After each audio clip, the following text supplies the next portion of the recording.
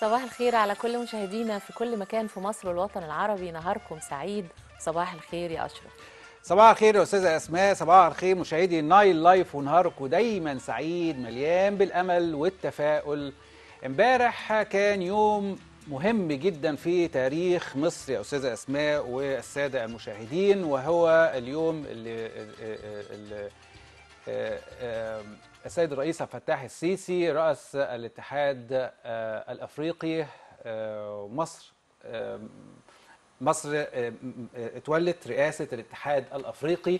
ويوم مهم جدا كان في أثيوبيا كان في رسائل كثيرة في خطاب السيد الرئيس عبد الفتاح السيسي من ضمنها لازم لابد من التكامل ما بين الدول أفريقيا وعدد كبير من الرسائل للمرأة وحقوق المرأة وعدد كبير جدا من الرسائل الخاصة بالإرهاب والقضاء على الإرهاب وتحديد الممولين للإرهاب حقيقي شخصيات هامة كمان جدا نعم. ألقت كلمات امبارح كان برضو من أهمها بيل جيتس الكلمة بتاعته كانت تمام. كلمة ممتازة جدا مم. وفي وعود كثيرة هتتحقق إن شاء الله للقارة الإفريقية بدءا من أمس من رئاسة مصر للاتحاد الإفريقي التكامل ما بين الدول الأفريقية ممكن تؤدي إلى إن إحنا ممكن قارة أفريقيا دي تبقى أهم قارة في الكرة الأرضية عدد صحيح. كبير جدا من المشاريع الم- وتشجيع الاستثمار من جميع أنحاء العالم ممكن ينمي أفريقيا ممكن يشجع المستثمرين إن هم يستثمروا في أفريقيا.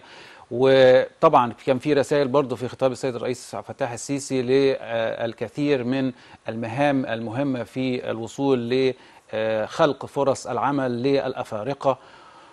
عدد كبير جدا من الرسائل آه، النهارده عندنا في نهارك سعيد فقرة خاصة بهذا الموضوع هنتكلم فيه مع الأستاذ أحمد سنجاب رئيس القسم السياسي بوكالة أنباء الشرق الأوسط وتولي مصر رئاسة الاتحاد الأفريقي. آه عندنا فقرة برضو تانية في الحقيقة هي آه، جديدة ومهمة في نفس الوقت. إحنا بنتكلم عن ال- الجيولوجيا السياحية.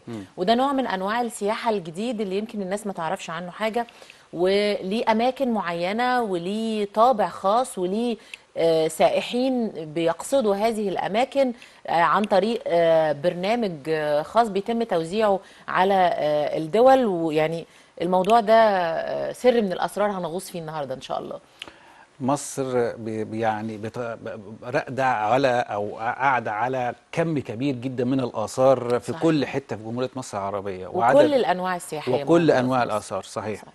والسياحة طبعا عندنا النهارده فقرة خاصة بمبادرة عيادة اللغة العربية إيه المبادرة دي بكل بساطة شديدة عدد من ال- الطلبة قرروا إن هم يعملوا مسرحيات يشرحوا فيها اللغة العربية والكثير من آه، آه، المواد الخاصة باللغة العربية.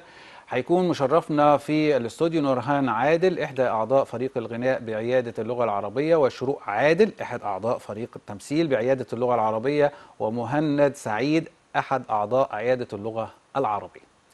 الفقرة الرابعة والأخيرة هيكون معانا آه، أحد الممثلين المسرحيين وهو آه، الأستاذ أحمد آه، السعيد. هنتكلم معاه عن أعماله وعن مشواره وعن الشباب إزاي يقدروا إن هم ياخدوا هذا الخط في الدخول إلى عالم المسرح. والمسرح أبو الفنون زي ما إحنا عارفين ومش سهل إن أي حد يقدر يقف ويثبت وجود وكفاءة على خشبة المسرح.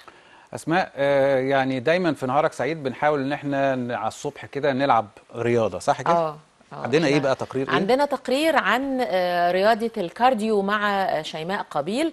هنشوف إيه هي ال cardio عبارة عن إيه وبعد التقرير هنرجع لحضراتكم تاني داخل الاستوديو.